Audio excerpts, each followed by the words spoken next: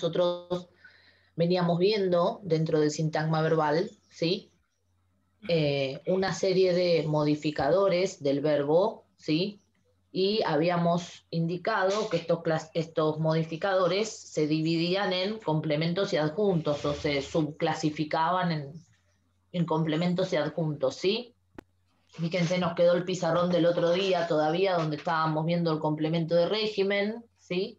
Vimos el complemento agente que está en la voz pasiva, el complemento objeto directo y el complemento objeto indirecto. Y vimos que los circunstanciales bien pueden ser complementos, bien pueden ser adjuntos. ¿sí? Es decir, si un circunstancial es requerido por el verbo, entonces va a ser un complemento, y si no es requerido por el verbo, será un adjunto circunstancial. Nos quedaba ver entonces un grupo de modificadores, ¿sí? Que no son ni complementos ni adjuntos. Es como una tercera pata que tienen los modificadores del verbo.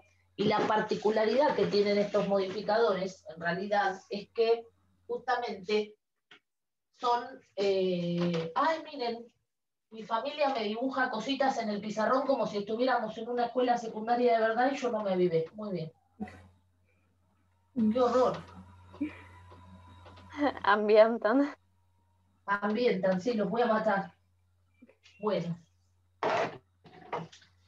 En estos, en estos, este, en estos esquemas que nosotros estábamos viendo hasta ahora, los esquemas transitivos y los esquemas intransitivos, el verbo, ¿sí? El verbo siempre es el encargado de llevar a cabo la predicación. Es decir, el verbo es el que predica algo sobre alguna entidad generalmente esa entidad está alojada en el sujeto, ¿sí? Entonces yo tenía, no sé, tenía secuencias como Juan corre o María trabaja y ahí tenía secuencias intransitivas, o tengo una secuencia como Juan compró fruta, donde hay un verbo transitivo, porque ahí selecciona un, un objeto directo, pero hay otros verbos, ¿sí?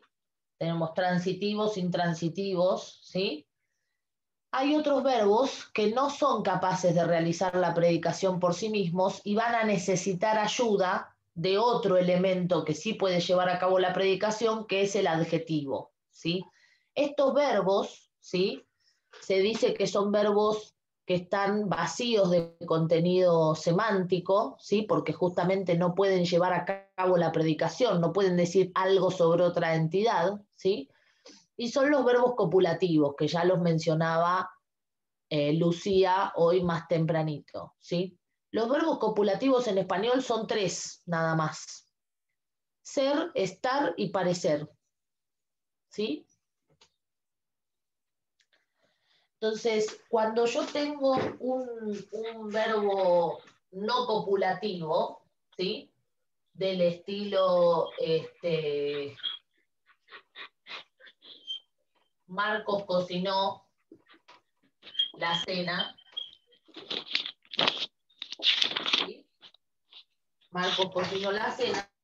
Este verbo cocinar lleva a cabo la predicación por sí mismo. ¿sí? Dice algo sobre alguna cosa. En este caso, este verbo cocinar predica de la entidad que está ocupando el lugar en el sujeto, que es el sustantivo propio Marcos. ¿sí?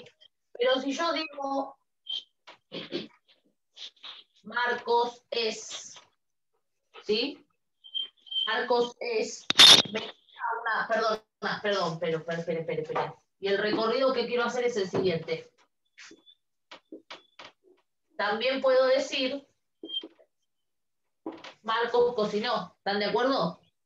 ¿Sí? Y ahí me queda una secuencia bien formada. Ahora fíjense qué pasa con el verbo ser. ¿Sí? Perdón, profe, en el caso de Marcos cocinó, ahí tendríamos que marcarlo como intransitivo a pesar que normalmente le agregamos un objeto directo. En realidad el verbo es intransitivo, porque fíjate que acá tenés bien restringido el objeto directo. O sea, Marcos cocinó la cena, Marcos cocinó comida, Marcos cocinó papas fritas, ¿sí? Pero es bastante restringido. Entonces, más bien es tirando a intransitivo. Este es uno de los que dijimos el otro día que tiene como usos alternantes, que yo puedo tener la variante intransitiva y la variante transitiva, ¿sí? Lo puntual es que este verbo predica por sí mismo, ¿sí? En contraposición a un verbo como ser, que no predica por sí mismo. Si yo digo Marcos es, me falta algo ahí, necesito que otro elemento ¿sí? realice la predicación. Cuando yo estoy pensando en este tipo de este, verbos, se dice que el verbo acá es el que realiza la predicación primaria.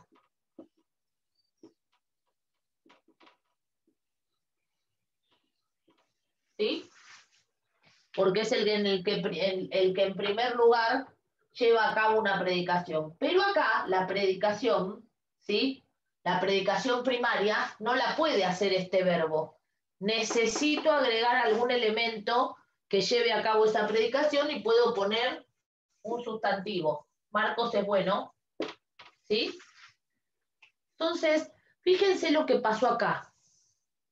Tenemos un elemento, ¿sí? Tenemos un elemento bueno. ¿Se ve el fibrón rojo? Sí. ¿Sí? Sí, sí, Tenemos pues. un elemento, ¿sí? Tenemos un elemento que es el que efectivamente está llevando a cabo esta predicación. En este caso, fíjense, la predicación primaria la lleva a cabo el adjetivo y no el verbo, ¿sí? Y el adjetivo ayuda a dos partes de la oración, al verbo y al sintagma nominal que está cumpliendo la función sujeto. ¿Sí?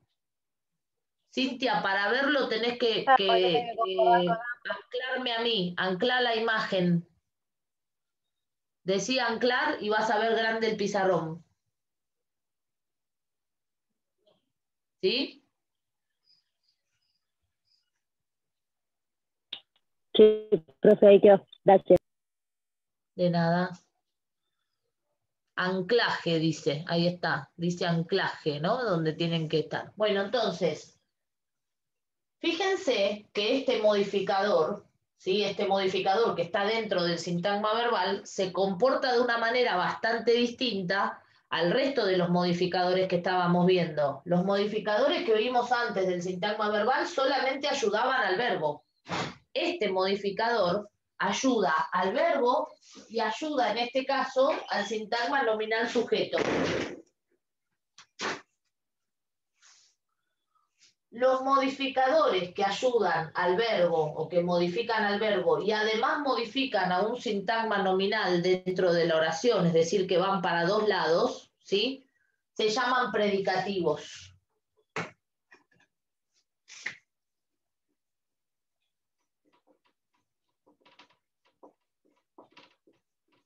Se llaman predicativos, ¿sí? Entonces, los predicativos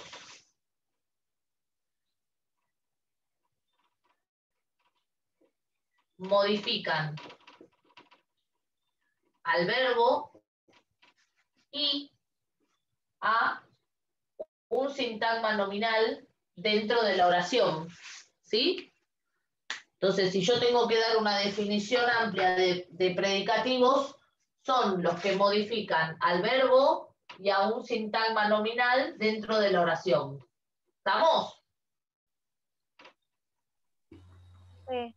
Profe, igual esto nos damos cuenta nada más si cambiamos el verbo de plural a singular, ¿no? Porque si yo digo Marcos No. fue bueno, No, no, no, no, no, no. Mira. Marcos fue bueno ahí que le cambiaste al verbo el tiempo. ¿Sí? No le cambiaste el número. pero no, pero no le afectó a Marcos, digamos. No porque no, no, no cambiaste la concordancia. Ahora, fíjate si yo hago esto. Paula es buena. ¿Qué pasó ahí? Hay un cambio de género también. Acá tengo el verbo. ¿sí? Sí, acá tengo el verbo, entonces acá tenemos nuestro sujeto,